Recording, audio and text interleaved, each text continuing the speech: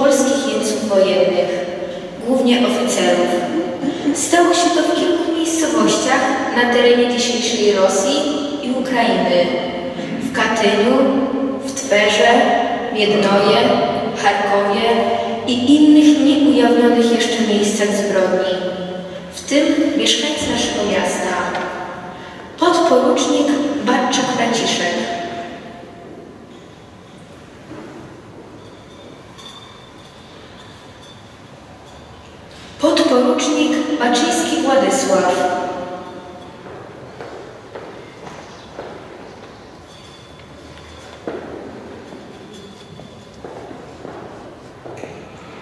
Porucznik Marciniak Stefan Leszek.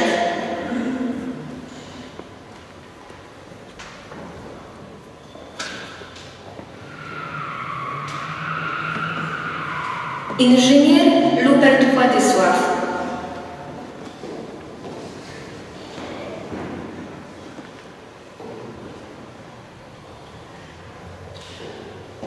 Starszy sierżant Nędzi Władysław.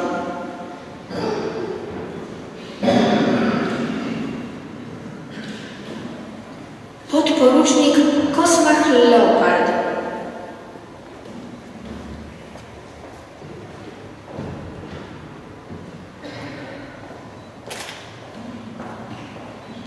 Podporucznik Jan Wojtala.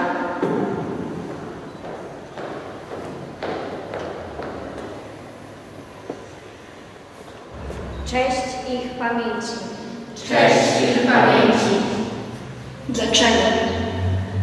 Na to dręczące wszystkich pytanie dał nam, młodemu pokoleniu Polaków, odpowiedź Jan Paweł II. W kwietniu 1996 roku w przemówieniu skierowanym do Was podczas specjalnej audiencji Ojciec Święty powiedział Jesteście ludźmi, których dotknął dramat niewinnej śmierci bliskich. Jesteście świadkami śmierci, która nie powinna ulec zapomnieniu. Tragiczne wydarzenia, które miały miejsce na wiosnę 1940 roku w Katyniu, Charkowie i Miednoje są rozdziałem w martyrologium polskim, który nie może być zapomniany. Ta żywa pamięć powinna być zachowana jako przestroga dla przyszłych pokoleń. Trzeba jednak mieć świadomość, że również ta śmierć, a raczej to wielkie żniwo śmierci jest jakoś wpisana w Boże plany i nabiera nowego znaczenia w perspektywie śmierci i zmartwychwstania Chrystusa. Nade wszystko staje się ona ofiarą, której owocem jest dobro. W wymiarze narodowym przybrało ono kształt wolności.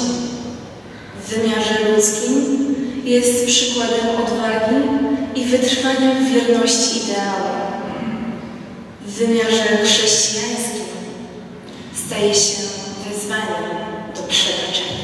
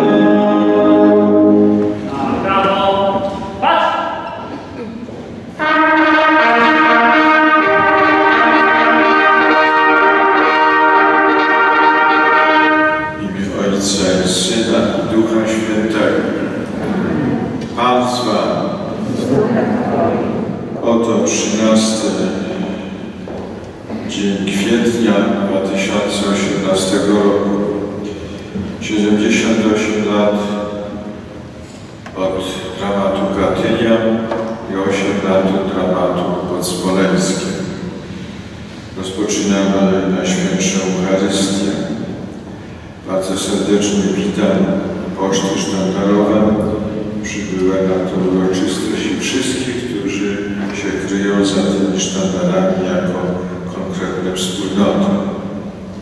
Witam serdecznie Pana Burmistrza, Panią Wiceburmistrz, Panią Przewodniczącą Rady Miasta Gminy Warka, wszystkich samorządowców Gminy Warka oraz powiatu grujeckiego, wszystkich radnych miejskich w Warce oraz radnych powiatu grujeckiego, delegację pierwszego Grujeckiego Ośrodka Radioelektronicznego, Orkiestrę Wojskową z Dęblina, środowiska kombatanckie, przedstawicieli jednostek samorządowych i organizacji pozarządowych przybyłych na uroczystość mieszkańców, w tym szczególnie dzieci i młodzież szkolnych.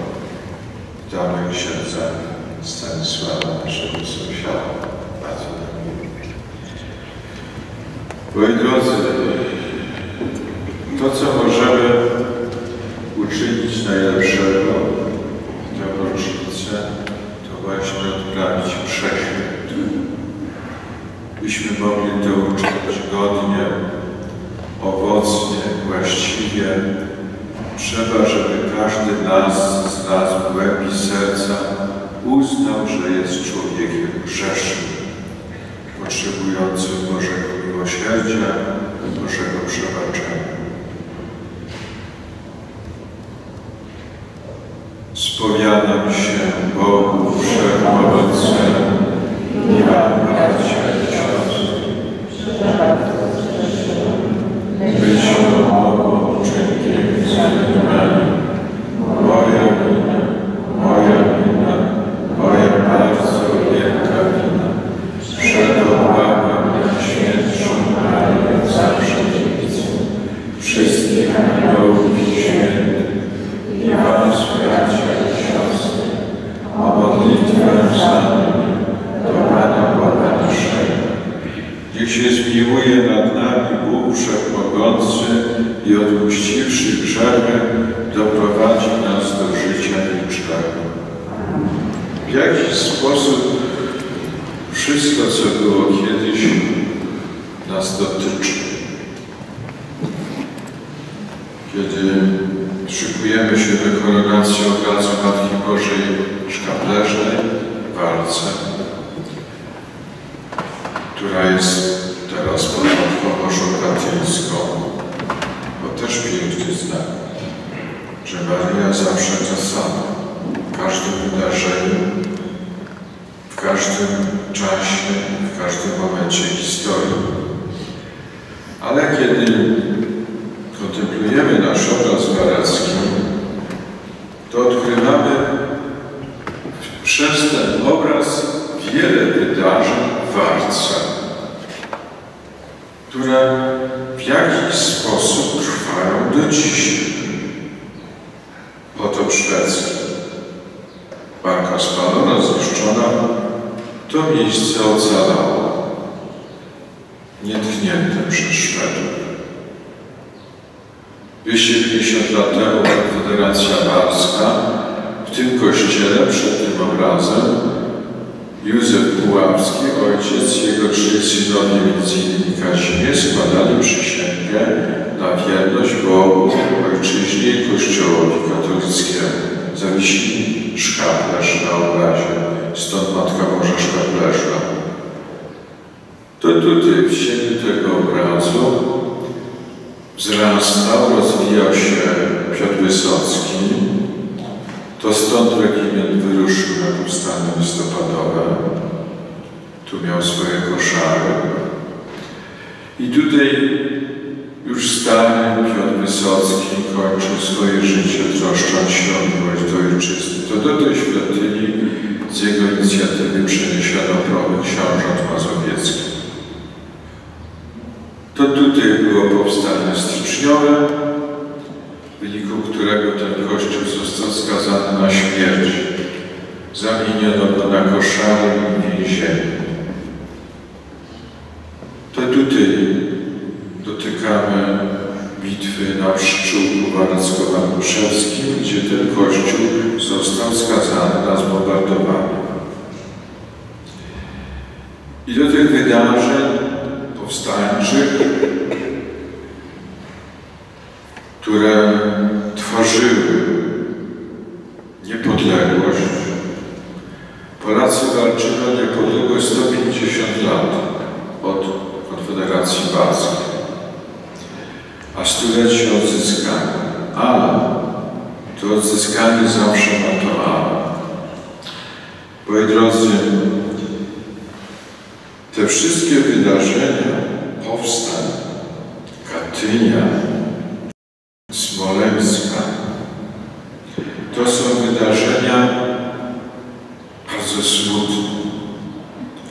One nas wciskają w ziemię choćby wspomnieć doły katyńskie, kwiat inteligencji polskiej w dołach katyńskich, ciśnięty, zabity. Smoleńsk, reprezentacja narodu, wciśnięta w ziemię, w czerń, w pustkę. I tak się niektórzy dziwią, dlaczego my te rocznice obchodzimy. Przecież trzeba się weselić, nic smutnego. Lepiej mieć orła z czekolady niż orła z czarną steną.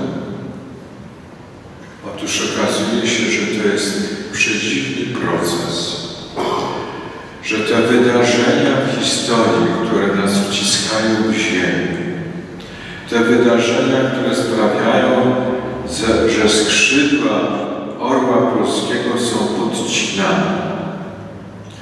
Bez przerwy są te skrzydła podnoszone. I to obchodzenie rocznic to jest to podnoszenie skrzydeł orła.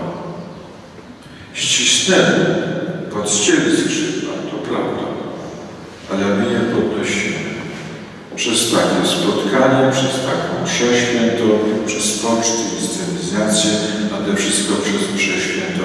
Ciągle proces w górę, do niepodległości, do zmartwychwstania. Bardzo marzymy za wielką, wspaniałą Polską. Marzymy.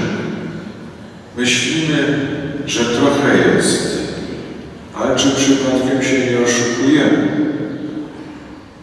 Czy przypadkiem te procesy wciskania Polski w ziemię, w glebę nie trwają dalej? Ile trzeba wysiłku, żeby podnosić ojczyznę? Ile trzeba wysiłku, żeby polski orzeł szybował w górę? Warto zobaczyć pomnik smoleński. Jeszcze nie widziałem, nie dostałem się nas na placu, ale opowiadałem, że to są schody to od samolotu. Ale na poziomie ziemi jest tafla szkła i są schody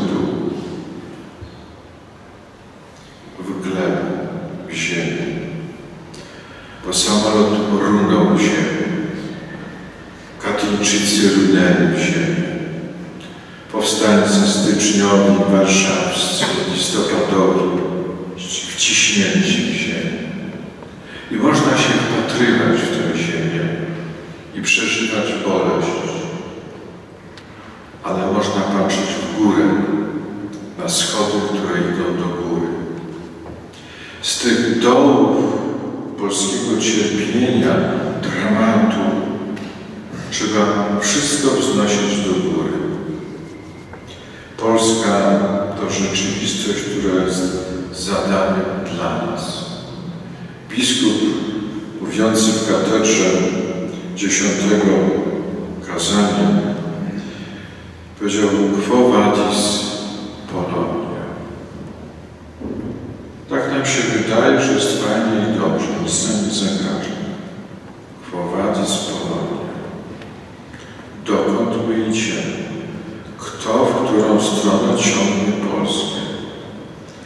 Czy Polska jest dalej ciągnięta w doły śmierci? Czy Polska jest wznoszona na skrzydłach orła w górę? Trzeba na to pytanie sobie odpowiedzieć i co najważniejsze, podjąć zadanie albo pchać Polskę w dół, albo wznosić ją ku górze. Za synem ziemi wareckiej, podporucznika Franciszka Bartczaka, podporucznika Leopolda Gustawa Kosmana, podporucznika Władysława Luberta, porucznika Stefana Leszka Marciniaka, starszego sierżanta Władysława Mencji, porucznika Władysława Baczyńskiego, podporucznika Jana Wojtala, aby radowali się życiem w tej ojczyźnie, w której nie ma już cierpienia i śmierci. Ciebie prosimy. Módlmy się o pokój wieczny dla ofiar katastrofy smoleńskiej, a wśród nich dla prezydenta Lecha Kaczyńskiego wraz z małżonką oraz związanego z walką księdza Andrzeja Kwaśnika. Módlmy się również za ich rodziny, aby w swoim cierpieniu czerpali siły z wiary. Ciebie prosimy. Módlmy się za nas tu zgromadzonych, abyśmy uczyli się wypełniać wolę Bożą w codziennym życiu przez czyny spełniane w duchu miłości. Ciebie prosimy. Panie, Ty jesteś naszą mocą i siłą. Polecamy Ci wszystkich naszych braci, którzy oddali życie za niepodległość 78 lat temu i tych sprzed 8 lat. Daj im udział radości raju, a przez ich ofiary daj nam moc, abyśmy przyczyniali się do wzrostu Polski, polskich rodzin, każdego naszego brata i siostry. Przez Chrystusa Pana naszego. Prosimy Cię, zmiłuj się nad nami wszystkimi i daj nam udział w życiu wiecznym z Najświętszą Bogu Rodzicą Dziewicą Maryją, ze świętym Józefem i ze świętymi apostołami, świętym Janem Pawłem i wszystkimi świętymi, którzy w ciągu wieków podobali się Tobie, abyśmy z nimi wychwalali Ciebie przez Twojego Syna, Jezusa Chrystusa. Przez Chrystusa, z Chrystusem i w Chrystusie. Tobie, Boże Ojcze Wszechmogący, jedności Ducha Świętego, wszelka cześć i chwała przez wszystkie wieki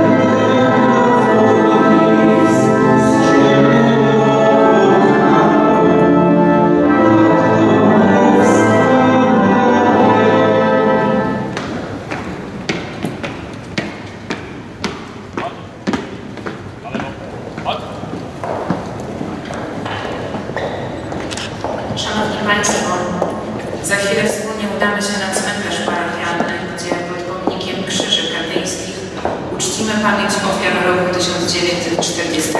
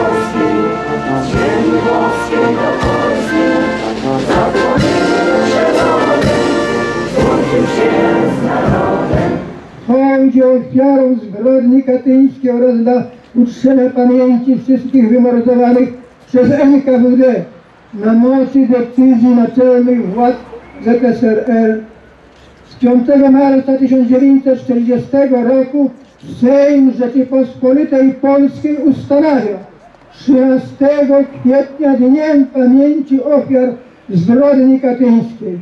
To właśnie 5 marca 1940 roku zapadła decyzja o mordzie jeńców wojennych.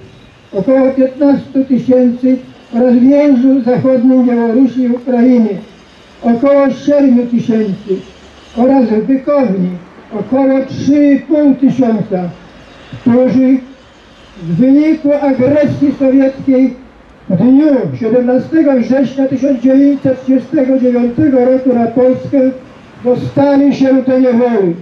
Beria, Ludowy Komisarz Spraw Wewnętrznych ZSRR w piśmie do Stalina pisze, iż stanowią oni zdeklasowanych i nie rakujących nadziei poprawy wrogów władzy radzieckiej. Postulował ich rozstrzelanie przez służby NKWD. Jeszcze tego samego dnia wniosek został zatwierdzony podpisami Stalina, Woroszyłowa, Mołotowa i Nikojana. Władze sowieckie konsekwentnie wypierały się wymordowania polskich oficerów i policjantów. Kiedy rząd polski na uchodźce w 1943 roku odkryciu grobów w Katyniu i ogłoszeniu tego faktu przez Niemców chciał wyjaśnić, kto dokonał mordu, że PSRL zerwał z nim stosunki i oskarżył o kolaborację z nazistami nastąpiło to po rozmowie Stalina z generałem Władysławem Sikorskim, który domagał się wyjaśnienia od Stalina, co stało się z kilkunastu tysiącami oficerów polskich wziętych do niewoli sowieckiej. Kiedy 30 września 1945 roku ogłoszono wyrok końcowy w Norymberdze, nie było w nim ani słowa o Katyniu. Trybunał Norymberski nie zainteresował się sprawą Katynia. Sądzono tylko zbrodniarzy hitlerowskich. Ostatecznie Związek Radziecki przyznał się oficjalnie do popełnienia zbrodni dopiero po 50 latach. Przywołuję wszystkich Polaków skazanych bez sądu i zamordowanych za to, że byli elitą naszego narodu i przeszkodą na drodze do zniewolenia ojczyzny. Stańcie do apelu!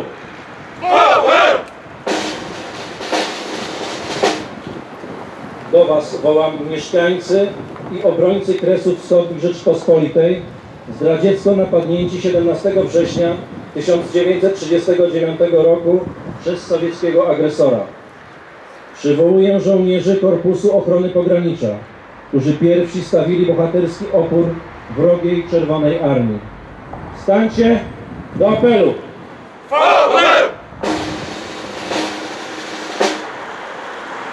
Wzywam obrońców Lwowa i Grodna, Lidy, Wilna i Równego, bohaterów walk pod Kodziejowcami, Jabłoniem, Szackiem i Wytycznem. Stańcie do apelu!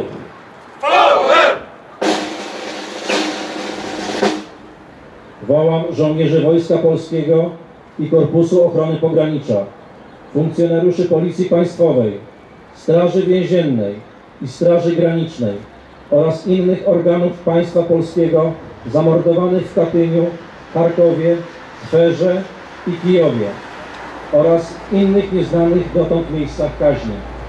Stańcie do apelu.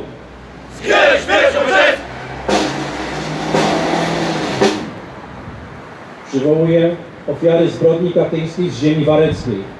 Porucznika Jana Wojtala, porucznika Stefana Leszka Marciniaka, podporucznika Franciszka Bartczaka, podporucznika Leopolda Gustawa Kosmala, podporucznika Władysława Luberta, starszego sierżanta Władysława Nędzi, którzy poświęcili życie za wolną i niepodległą Polskę.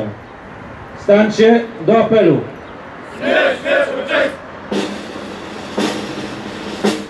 Ładuj! Na bok! Patrz!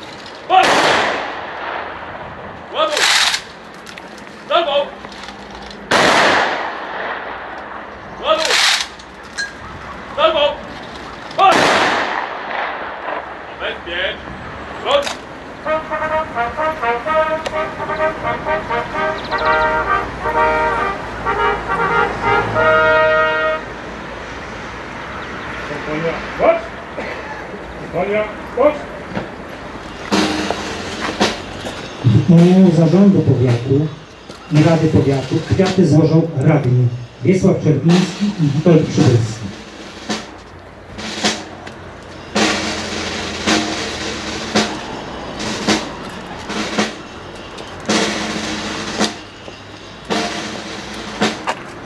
Kolejne kwiaty złoży delegacja pierwszego Grujeckiego Ośrodka Radioelektronicznego na czele z dowódcą majorem Danielem Śninkiewiczem. Śninkowskim, przepraszam.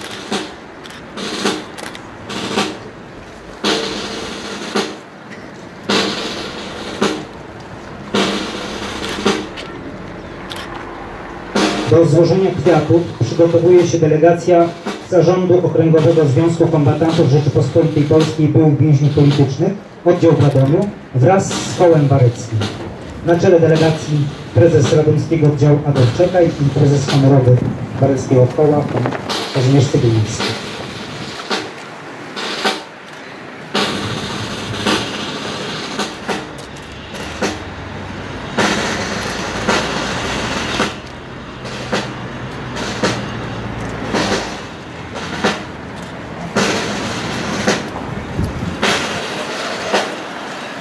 Kolejne kwiaty złoży delegacja Publicznej Szkoły Podstawowej nr 1 imienia Piotra Wysockiego w Barce.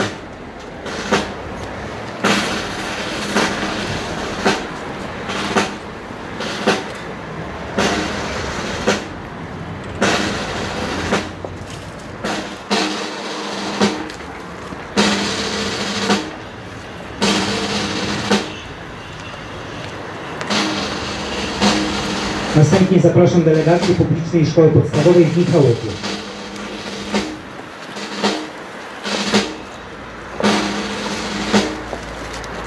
Kolejne kwiaty złoży delegacja Publicznej Szkoły Podstawowej imienia Stefana Czarnieckiego w Ostrołęce.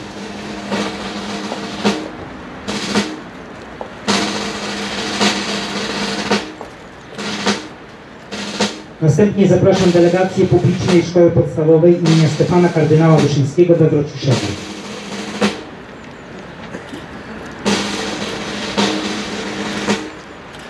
Jako kolejna kwiaty złoży delegacja Przedszkola Samorządowego w Barce.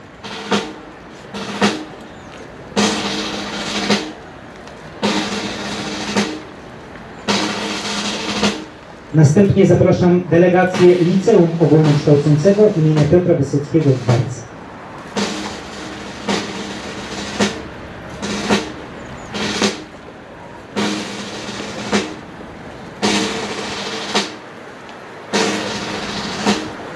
Kolejne kwiaty złoży delegacja Zespołu Szkół Ponadgimnazjalnych imienia pierwszego Pułku Lotnictwa Myśliwskiego Warszawa w Barce.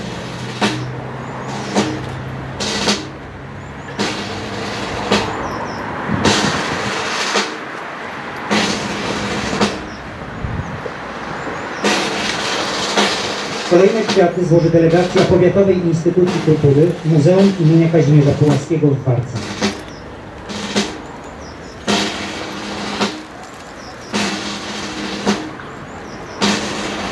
Następnie zapraszam przedstawicieli samorządowych instytucji gminy Warta, Miejsko-Gminnej Biblioteki Publicznej, Miejsko-Gminnego Ośrodka Pomocy Społecznej, Gminnej Instytucji Kultury Dworek na Długiu oraz Centrum Sportu i Rekreacji w Warcie.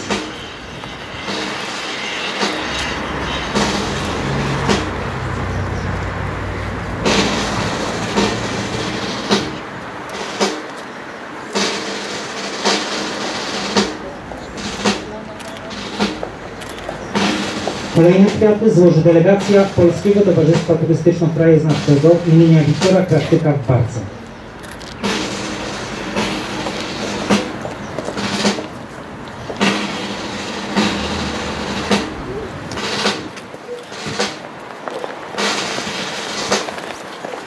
I na koniec zapraszam delegację Towarzystwa Miłośników Miasta Warki imienia Kazimierza Pułaskiego. W imieniu wszystkich mieszkańców miasta i gminy Warka symboliczne znicze zapalą. Burmistrz Warki Dariusz Wiska wraz z dowód, dowódcą delegacji pierwszego Górnickiego Ośrodka Radioelektronicznego majorem Danielem Sinkowskim.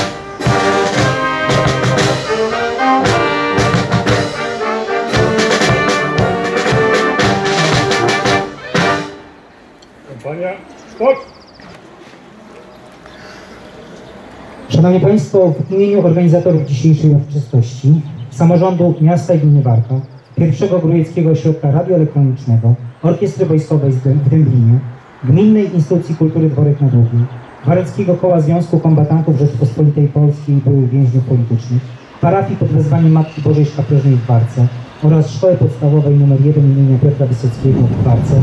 Chciałem Państwu bardzo, bardzo serdecznie podziękować za obecność podczas dzisiejszych uroczystości.